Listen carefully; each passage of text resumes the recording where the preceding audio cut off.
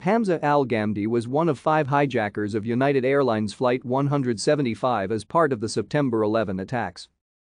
Born in Saudi Arabia, Hamza al-Ghamdi left his family to fight in Chechnya and was probably sent to al-Qaeda training camps in Afghanistan, where he was chosen to participate in the 9/11 attacks. He arrived in the United States in May 2001 on a tourist visa.